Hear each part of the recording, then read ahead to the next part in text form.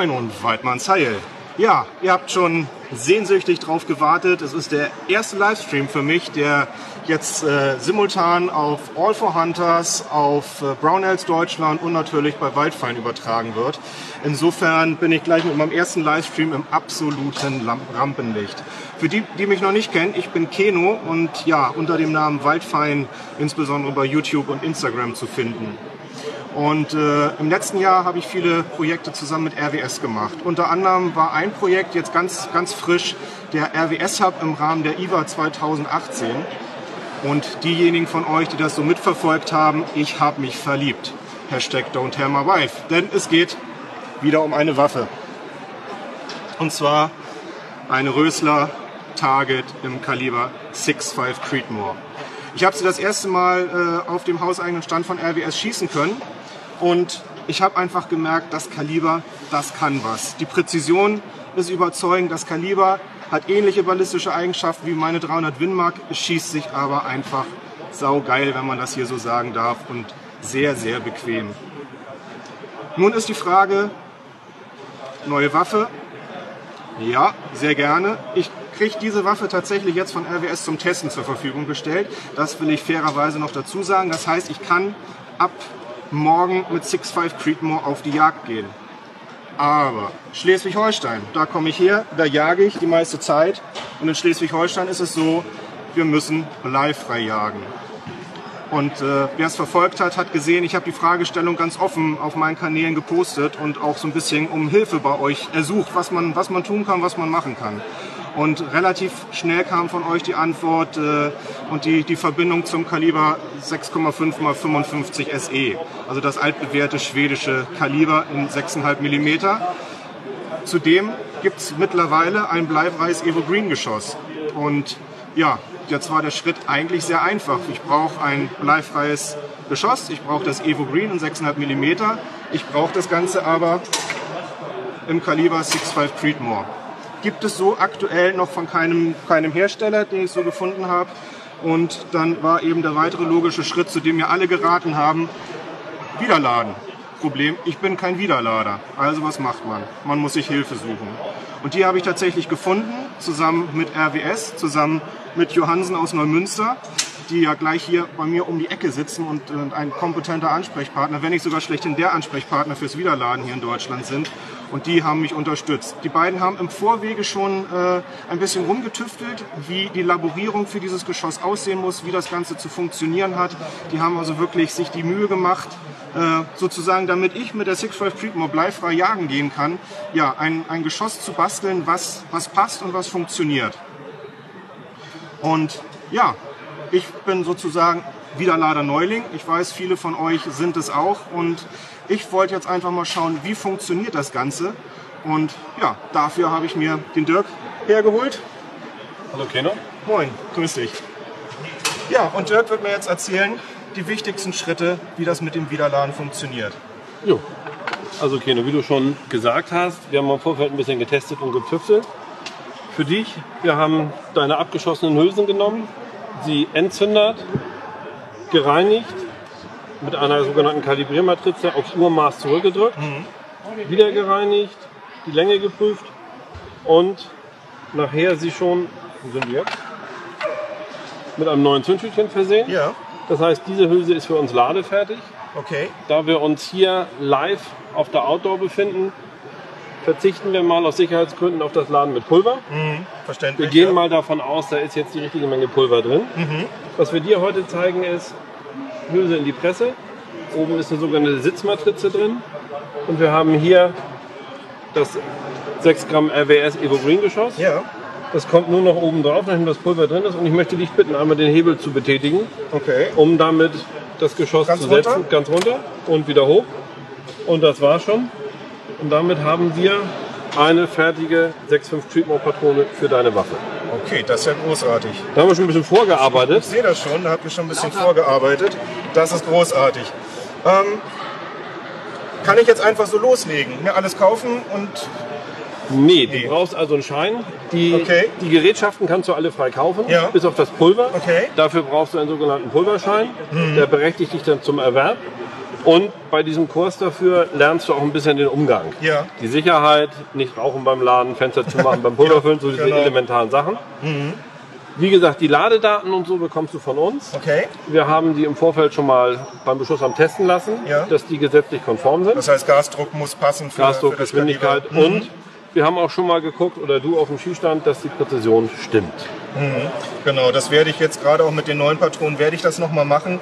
Das heißt, ich habe ja äh, den Montag noch vor dem 1. Mai, ähm, da werde ich auf den Schießstand gehen. Ich werde auch, weil äh, die Waffe ein Zielfernrohr mit Absehen-Schnellverstellung hat, ähm, auch die V0 messen, dass ich wirklich die Absehen-Schnellverstellung auch voll nutzen kann. Und äh, ja, werde dann tatsächlich nochmal noch mal schießen. Ich habe auch noch ein paar Fragen und vielleicht habt ihr auch noch welche. Ähm, wir sammeln die jetzt gerne während, während des Livestreams. Also wenn ihr Fragen zu der Thematik habt, schreibt die einfach rein. Ich habe hinter der Kamera äh, jemanden positioniert, der liest die Fragen mit. Seid uns nicht böse, wir können jetzt äh, dadurch, dass wir auch drei Kanäle gleichzeitig bedienen, nicht direkt drauf, drauf sofort antworten, aber wir suchen uns gleich die interessantesten Fragen raus und bearbeiten die äh, Fragen dann am Ende des, des Livestreams noch einmal. So, ich habe jetzt noch eine Frage. Der Zünder. Du Ja. hast gesagt, ihr habt die schon bezündert. Wie kommt, wie kommt der Zünder in die, in die Patrone? Gereinigt ist ja alles, das kann ich mir Gereinigt vorstellen. ist das Ganze. Du hast hier an der Presse einen sogenannten Arm. Mhm. Da kannst du es einzeln machen. Ansonsten haben wir hier auch ein sogenanntes Zündtütchen-Handsetzgerät. Ja, Dort können wir diesen Teller kommen die Zündtütchen rein, Mhm. setzen es hier rein.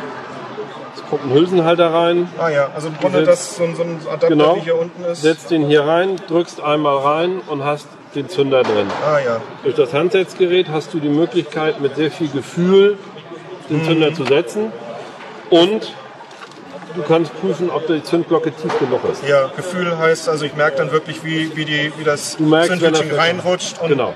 Will ja, mein Ziel ist ja, dass das alles äh, flach Es und soll, unten ist. es muss bündig sein oder es darf sogar leicht unterstehen, so Ja, wie hier, ja. um sicherzustellen, dass es nicht übersteht. genau, damit kein Kannst du Unfall auch ganz toll kann. testen, wenn du die Patrone dann auf den Tisch stellst und sie fängt an zu wackeln, Ja, dann guckt dein Zünder raus, weil er halt auf dem Zündtütchen rumeiert.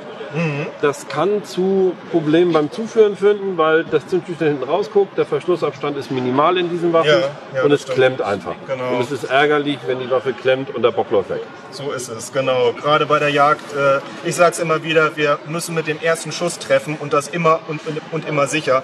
Insofern ist da auch wirklich dann auch beim Wiederladen nochmal eine ganz, ganz wichtige Komponente. Also was mir persönlich auch einfach immer, was ich mir persönlich auf die Fahne schreibe, es muss sicher sein und der erste Schuss muss da landen, wo er soll und da will ich auch keine, keine Fehlfunktion haben. Wenn der Bock wegläuft, dann ist es so, aber wenn der Schuss irgendwas passiert, das wollen wir natürlich nicht.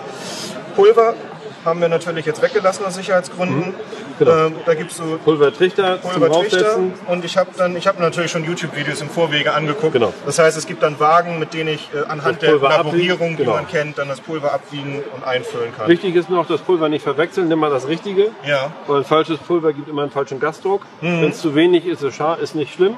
Mhm. Ja. Schießt nur nicht. ist es zu nicht. viel, kann es dein letzter Schuss sein. das Ähm, glaube ich. Wie gesagt, beim Pulverfüllen ganz vorsichtig sein. Wichtig ist, die Hülse füllen und dann in ein zweites Ladebrett stellen, um auszuschließen, dass du eine Hülse nicht befüllst. Hm, okay. Wenn du eine Hülse ohne Pulver hast, das Zündschütchen reicht aus, um das Geschoss in den Lauf zu Ah, drücken. okay. Du ziehst die leere Hülse aus, du merkst, der Rückstoß war falsch, es knallte anders. Ja. Aber dein Jagdtag ist definitiv für diesen Tag vorbei, weil das das, Geschoss- Geschoss in den Feldern und Zügen einfach fest sitzt. Okay, das heißt ja, Und klar. gefährlich wird, wenn du in der Hektik nachrepetierst und ein zweites Geschoss draufsetzt. Hm, Deswegen, ich sage immer, Hülsen und so, das ist alles wichtig und das Ja. muss alles genau passen, aber der einzig gefährliche Part ist das Pulver da dran. Mhm. Und ich muss mich da wie beim Kuchenrezept auch genau ans Rezept halten Ja. und exakt backen, Ja. damit ich halt die Patrone so bekomme, wie wir das hier auch vorgeben. das glaube ich. Das heißt also mit, ich sage jetzt mal Selbststudium bei YouTube äh, wiederladen werden ist nichts. Ich brauche sowieso den Pulverschein und ich muss wahrscheinlich auch einen Kurs machen. Jemand, der mir zeigt, wie ich alles einstelle, dass, dass, die, dass die Daten, die ihr jetzt schon ermittelt habt, was, was die äh, Setztiefe des Geschosses angeht und so weiter, dass ich das eben lerne zu ermitteln, richtig zu messen, Genau. richtig zu, zu interpretieren, die Daten. Also in diesen Kursen, das sind immer so 20 bis 24 Stunden, da wird sehr viel Gesetzestext und alles gemacht. Ja. Und das Laden selbst eigentlich immer nur sehr rudimentär gemacht. Das Einfachste ist, wenn du den Schein hast und ihr fangt an wieder zu laden, euch einen erfahrenen Widerlader sucht oder Ja. kurz fragt, Ja. jemanden, der sich damit genau auskennt, der mit euch die ersten Patronen stückchenweise lädt, um Fehler zu vermeiden. Dann immer nur eine kleine Menge machen, den Arbeitsschritt ein-, zweimal machen, mit der Waffe prüfen, dass die Patrone reingeht. Ja. Nichts ist schlimmer als 100 Patronen fertig zu Ja. haben und nachher festzustellen, die passen ja gar nicht in meine Waffe. Das stimmt. Ich habe auch schon gehört, dass das, äh, soll ich sagen, die, die, der große Vorteil des Wiederladens, abgesehen davon, dass man vielleicht ein bisschen günstiger an Munition kommt, der ist, dass man die Munition eben sehr präzise auf seine eigene Waffe auch abstimmen kann.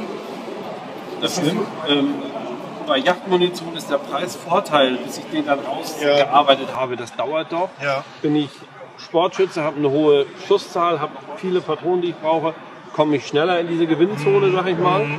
Aber wichtig ist, die Waffen, die Munition, die ich kaufe von der RWS zum Beispiel, muss für alle Waffen dieses Kalibers passen. Ja. Die, die ich baue, passt exakt nur für meine Waffe. für meine Waffe, und ja. ist auch für meine Bedürfnisse abgestimmt. Okay. Ein Beispiel, eine Patrone 3006 muss für uns hier in Schleswig-Holstein einmal bis zum nächsten Knick schießen, bei 80 Meter. Die muss aber auch im Hochgebirge auf 250 Meter noch Ja, sauber treffen. Ja. Das heißt, für mich kann ich die Performance der Patrone auf meine Bedürfnisse hier etwas anpassen. Oder mein österreichischer Bergjäger kann sie ein bisschen schneller machen, weil er halt doch deutlich weiter schießt. Ja, das stimmt. Und ich kann die Eigenpräzision der Munition noch steigern, sodass ich für mich auf der Yacht ein noch besseres Gefühl habe. Ja, großartig. Das heißt, für mich habe ich eigentlich gleich zwei Gründe zum Wiederladen. Zum einen mein, mein bleifreies äh, 6.5 Creedmoor, als auch äh, fürs Long-Range-Schießen meine, meine perfekte Munition für große Distanzen im sportlichen Bereich. Genau. Großartig. Ja, da hast du mir schon sehr, sehr gut weitergeholfen. Also ich glaube, für mich wird jetzt am Wiederladen kein Weg mehr dran vorbeiführen.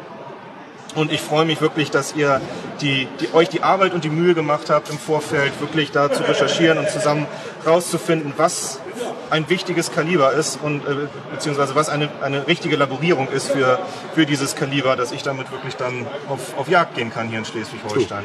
Haben wir gern gemacht. Großartig. Bevor ich dich verabschiede, haben wir Fragen? Zeit. Ich höre die Zeit. Okay, ähm, die Fragen schauen wir uns dann am Ende nochmal an und werden uns gemeinsam dann nochmal ransetzen und sie versuchen zu beantworten. Seid uns nicht böse, wir sind im Messegeschehen. Insofern kann das sich alles ein bisschen verzögern. Dirk, Kino, vielen Dank. jederzeit Dann- gerne wieder. Bedanke ich mich bei RWS, bei Johansen, dass ihr das alles so möglich gemacht habt, dass ihr mich dabei unterstützt. Und für mich geht es jetzt Montag auf den Schießstand und dann am 1. Mai auf den Maibock. Ich verabschiede mich und ihr kennt den Spruch am Ende, keine Ausreden, ab nach draußen, geht jagen. Dieses Mal muss ich aber sagen, keine Ausreden, kommt uns hier auf der Messe besuchen, stellt vielleicht direkt persönlich eure Fragen. Und ja, ich bin für euch da, ich bin Samstag und Sonntag hier auf dem Stand von RWS und von Johansen anzutreffen. Schaut vorbei und wir würden uns freuen, uns hier mal auf einen Kaffee mit euch persönlich zu unterhalten. Vielen Dank, ich hoffe, euch hat es gefallen. Auf Wiederschauen. Jo, tschüss. Großartig, danke.